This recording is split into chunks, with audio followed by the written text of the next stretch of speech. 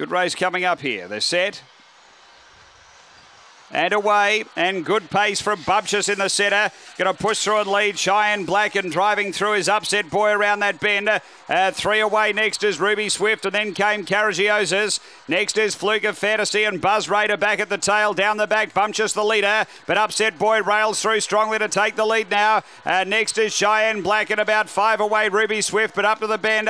And upset boy's going to get clear over Bumptious, and then came Cheyenne Black, but it's all upset boy down the running. Upset boy won it by seven. Second, Bumptious. Third, Cheyenne Black. Then Ruby Swift and Fluke of Fantasy. Uh, next, Caragiosas and Buzz Raider back at the tail end.